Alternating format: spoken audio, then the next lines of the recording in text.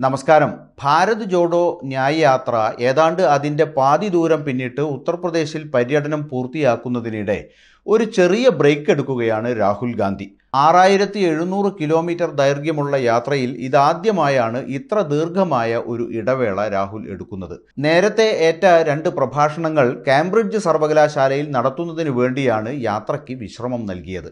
ഫെബ്രുവരി ഇരുപത്തിയാറ് മുതൽ മാർച്ച് ഒന്ന് വരെ നടക്കുന്ന ഭാരത് ജോഡോ ന്യായ് യാത്രയ്ക്ക് വിശ്രമം അനുവദിച്ച് രാഹുൽ ഗാന്ധിക്ക് കാംബ്രിഡ്ജ് സർവകലാശാലയിൽ രണ്ട് പ്രത്യേക പ്രഭാഷണങ്ങൾ നടത്തേണ്ടതുകൊണ്ടും ന്യൂഡൽഹിയിലെ പ്രധാന യോഗങ്ങളിൽ പങ്കെടുക്കേണ്ടതുകൊണ്ടുമാണ് യാത്രയ്ക്ക് ബ്രേക്ക് പറഞ്ഞതെന്ന് കോൺഗ്രസ് അറിയിച്ചു.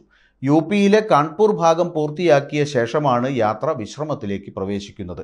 ആഗ്രയിൽ എസ് പി അധ്യക്ഷൻ അഖിലേഷ് യാദവ് കൂടി പങ്കെടുത്ത പരിപാടി വമ്പിച്ച ജനസഞ്ചയത്തിന്റെ സാന്നിധ്യത്തിൽ പര്യവസാനിച്ചതോടെ രാജ്യത്താകെയും വിശിഷ്യ ഉത്തർപ്രദേശിലും ഭാരത് ജോഡോ യാത്ര വമ്പിച്ച ഓളമാണ് ഉണ്ടാക്കിയത്.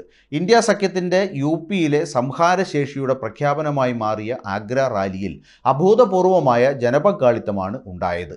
ഭാരത് ജോഡോ ന്യായ് യാത്ര ഫെബ്രുവരി ഇരുപത്തിനാലിന് ആരംഭിച്ച കാൺപൂർ പാദത്തിൽ ഉത്തർപ്രദേശിലെ മൊറാദാബാദ് സംഭാൽ അലിഗഡ് ഹത്രാസ് ആഗ്ര എന്നീ ജില്ലകളിലെ പര്യടനമാണ് പൂർത്തിയായത്.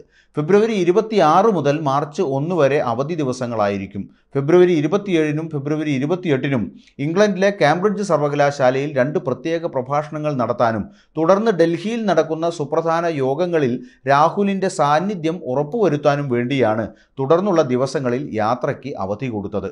മാർച്ച് രണ്ടിന് ഉച്ചയ്ക്ക് രണ്ട് മണിക്ക് ധോൽപൂരിൽ നിന്ന് ഭാരത് ജോഡോ ന്യായയാത്ര വീണ്ടും പുനരാരംഭിക്കുമെന്നും മധ്യപ്രദേശിലെ മൊറേന ഗോളിയോർ ശിവപുരി ഗുണ ഷാജാപൂർ ഉജ്ജയിൻ ജില്ലകൾ ഉൾപ്പെടെ തുടർന്ന് സന്ദർശനം നടത്തുമെന്നും കോൺഗ്രസ് നേതാവ് ജയറാം രമേശ് മാധ്യമങ്ങളെ അറിയിച്ചു.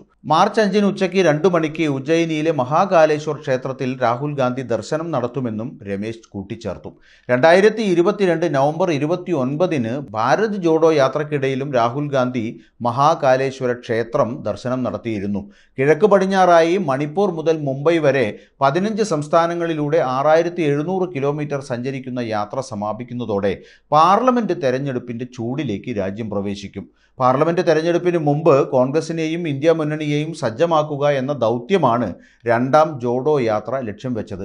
ജനങ്ങളുടെ ന്യായമായ അവകാശങ്ങൾക്ക് വേണ്ടിയുള്ള അഞ്ച് മുദ്രാവാക്യങ്ങൾ മുന്നോട്ട് വെച്ച് നീങ്ങിയ ഭാരത് ജോഡോ ന്യായ യാത്ര മുംബൈയിൽ പൂർത്തിയാകുന്നതോടെ രണ്ട് പാദങ്ങളിലായി ഇത്രയും ദൂരം തുടർച്ചയായി സഞ്ചരിച്ച മറ്റൊരു രാഷ്ട്രീയ നേതാവും ഇന്ത്യയിലില്ല എന്ന ഖ്യാതി കൂടി രാഹുൽ ഗാന്ധിക്ക് സ്വന്തമാവും. അതിന്റെ ഫലം തെരഞ്ഞെടുപ്പിൽ എത്രമാത്രം പ്രതിഫലിക്കുമെന്ന് കാത്തിരുന്ന് കാണാം.